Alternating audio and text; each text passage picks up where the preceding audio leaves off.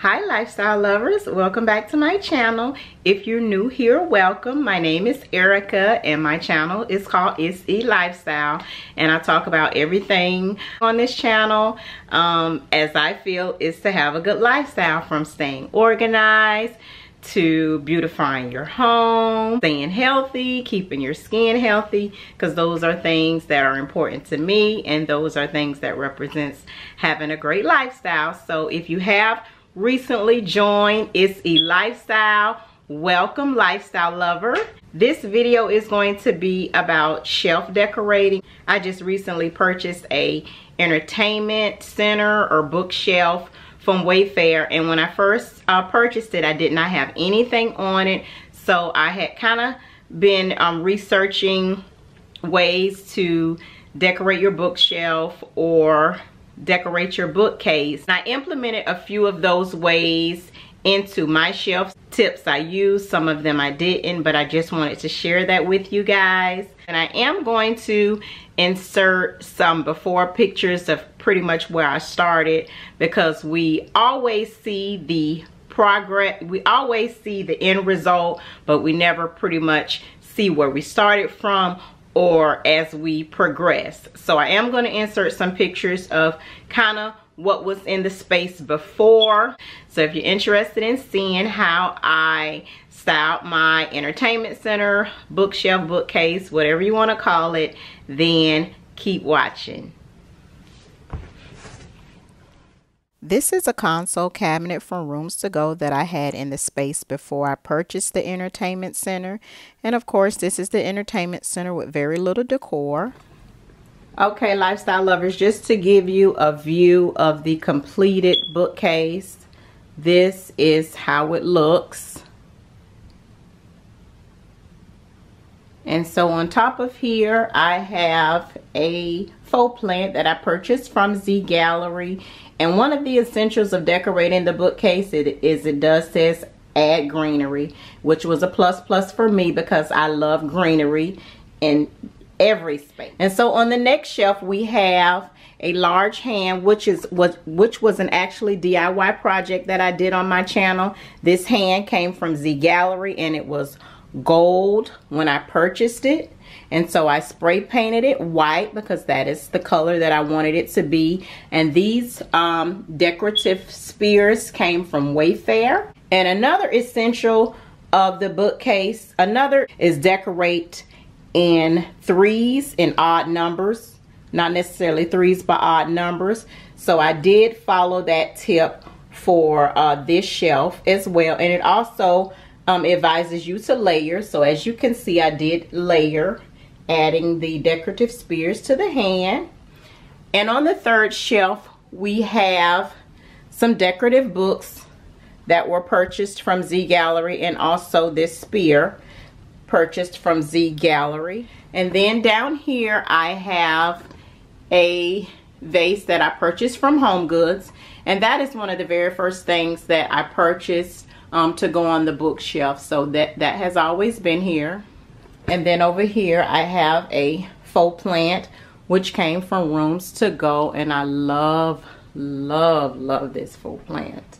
I had been watching it for a long time and I finally found a place for it. So over here on my second book bookshelf, I'm just going to give you guys a view of the entire bookshelf. And this is a blue decorative piece that I purchased from Z Gallerie. I actually waited two months to receive this, guys. And usually when I purchase something from Z Gallerie, it arrives or once I get it, it's much larger than I expected. But that wasn't the case this particular time. This is much smaller than I expected it to be.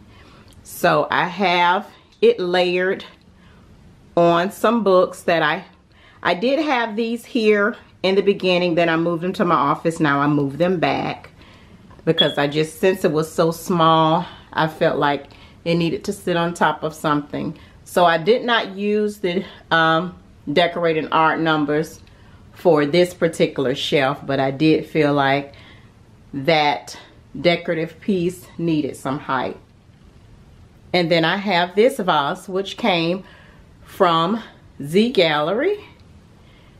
And then I have a candle burning. It's not part of the decor, but it's there. And then down here I have some more greenery. And this small pot came from Z Gallerie and the greenery came from Pier 1. And moving down to the last shelf, I have this decorative bowl. And my plans was to have that bowl and that vase on the same shelf. But like I said, when I get something from Z Gallerie, it comes more larger than expected. So I didn't think this bowl was as large as it is. So it just has its own shelf. And I did also decorate in odd numbers, adding some layering as well as some decorative balls. Which this one came from Z Gallerie and this one came from Wayfair. And so I'm very happy with the end result. I'm just going to back up so you guys can actually see. Let me see. Maybe this will be a better angle over here.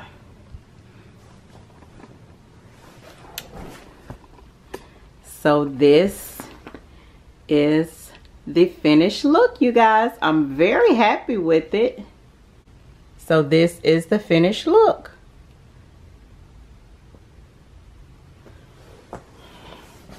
Okay, lifestyle lovers, I'm just gonna go over some of the tips that I came across for styling um, your shelves, which as I stated, some of them I used, some of them I did it, did not. And if you see me looking down, it's because I'm looking down at my phone. I did find these on Pinterest.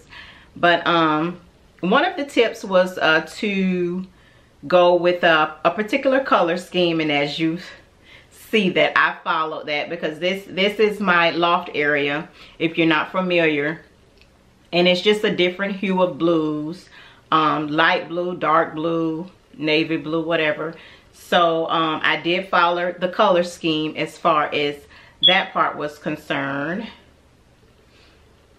second tip was less is more and it states that a lot of small items can make a bookshelf look cluttered and that's not the direction that I wanted to go with my shelf. I wanted some items that really stood out and um, you guys know I am a fan of Z Gallerie. Z Gallerie does have a lot of statement pieces and conversation pieces. So that's where most of the items came from. And um, I do, you know, feel that it, it's not a cluttered look at all. So that's another reason that I'm loving it. And it says vary your height. And I think I did a great job with that as well because I um, have some short pieces as well as some tall pieces.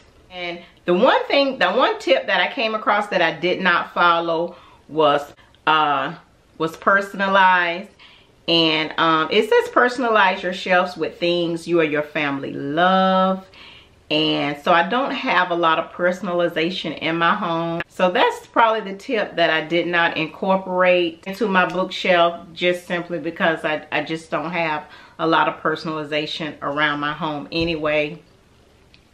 And Another tip was to decorate in odd numbers and as you guys can see I did that as well. Another tip I came across was to layer and I did layer it adding the decorative spears to the large hand as well as to the uh, as well as to the large uh, bowl, decorative bowl.